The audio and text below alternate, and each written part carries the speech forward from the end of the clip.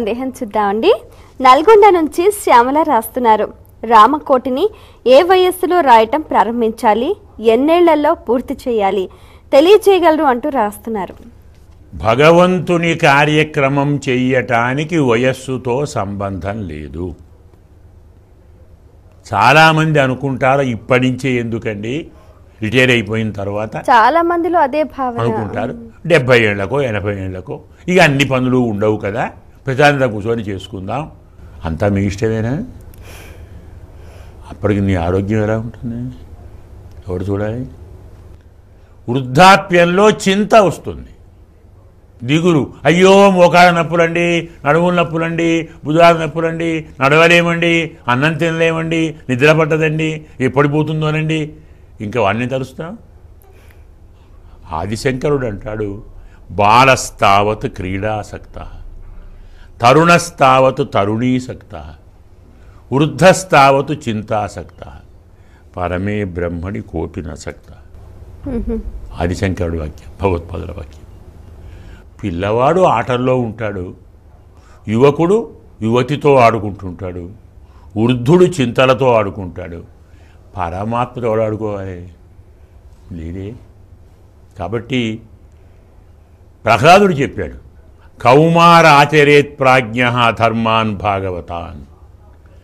భగవంతుడికి సంబంధించిన ధర్మములను కుమారావస్థలోనే ప్రారంభించాలి. ఐదేళ్ళ వయసున్న పిల్లవాడికి రామకోటి రాయటం అలవాటు చెయ్యి. ఐదు సంవత్సరాలు. అక్షర స్వీకారం రాముతోనే మొదలుపెట్టు. మనకి ఇప్పటికీ ఉంది శ్రీరామనే రాయిస్తాం. మొదలు అదే ఎలాగో రాయించావు కదా? రోజు రాయమను పది నామాలు రాయమను పదిసార్లు రాయమను ఇరవై సార్లు రాయమను. పరమాత్మ ఎందు భగవంతుని ఎందు భగవద్ ఆరాధన ఎందు భాగవత విషయం ఎందు శ్రద్ధాభక్తులు అప్పటి నేర్పితే పెద్దయ్యే నాటికి అవి పెరుగుతాయి. ఇప్పటి సమాజంలోని కాలుష్య భావాలు వానికి అంటావు. మనసు బాగుంటుంది. కుమారావస్థలోనే మొదలుపెట్టండి. ఐదు సంవత్సరాల వయస్సులో తప్పకుండా రామకోటి అలవాటు చేయండి. వంద సార్లు రామకోటి రాయండి వంద సార్లు రామరామ అనండి. ఎలాగ అనుకుంటూ రాయాలి కదా? నీవేది రాస్తున్నావో? శ్రీరామ శ్రీరామ శ్రీరామ శ్రీరామ. ఇలా అనుకుంటూ రాయండి. రామనామంలోని గొప్పతనం ఏమిటంటే వంద సార్లు మనం శ్రీరామ శ్రీరామ శ్రీరామ ఆపకుండా అంటే తరువాత ఆపాలన్నా ఆపలేం. లేచిపోయినా నోరు శ్రీరామ అంటూనే ఉంటుంది. నిద్రపోయినా శ్రీరామ అంటూనే ఉంటుంది. భోజనం చేస్తున్నా శ్రీరామ అంటూ ఉంటుంది. నీకు తెలియకుండా నీవెలా ఉచ్ఛ్వాస నిశ్వాసాలు తీరుస్తావు తీస్తావో తెలియకుండా రామనామాన్ని స్మరిస్తావు. అందుకు తప్పకుండా ఐదవ ఏటనే ప్రారంభించు. రోజు ఒక నూట ఎనిమిది సార్లు రాయమను. అలవాటు శక్తి పెరుగుతున్నా కొద్దీ పెంచుకో. పెద్దవాడు అవుతున్నాడు వాడే రెండు వందలు రాస్తాడు మూడు వందలు రాస్తాడు వెయ్యి రాస్తాడు రెండు వేలు రాస్తాడు మూడు వేలు రాస్తాడు. అలవాటైతే నిద్ర ఆపుకొని రాస్తాడు అన్నం ఆపుకొని రాస్తాడు పనులన్నీ చేసుకుంటాడు. ఎన్నేళ్ళలో పూర్తి చేయాలని నియమం లేదు. పదేళ్ళలో చెయ్యి ఐదేళ్ళలో చెయ్యి రెండేళ్ళలో చెయ్యి యాభై ఏళ్ళలో చెయ్యి. ఇన్ని ఏళ్ళలో చెయ్యాలనే నియమం పెట్టుకోవటం ఒక విధంగా తప్పు. అయితే నియమం ఎందుకంటే తప్పకుండా రాస్తాం కాబట్టి. అంతవరకే తప్ప కాల పరిమితి అనేది మనం కొంచెం సోమరితనాన్ని పెంచుకోవడానికి పనికొస్తుంది. అది తప్పు. త్వరగా పూర్తి చేస్తాను. ఒకసారి కాదు జీవితంలో ఐదు సార్లు రామకోటి రాయమన్నాడు. పంచకోటి లిఖేత్ ఐదు కోట్లు రాయాలి.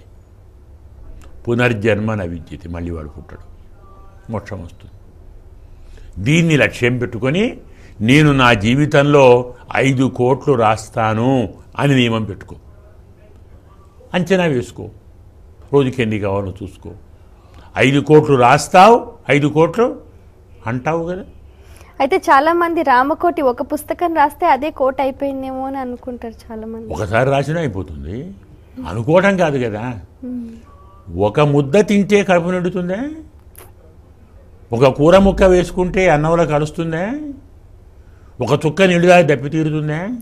మరి ఎట్టయితుంది రాయి రాయి రాయి. కోటి కావాలి నియమం ఏం లేదు. పది కోట్లు రాయి వంద కోట్లు రాయి ఒక వెయ్యి రాయి. దాని ఉద్దేశ్యం ఏమిటి? రామనామం. నా చెయ్యి రామనామమే రాస్తుంది. నా నోరు రామనామమే అంటుంది. నా మనస్సు రామనామ ధ్యానం చేస్తుంది. నేను రామనామమయం. నా ఇల్లు రామనామమయం.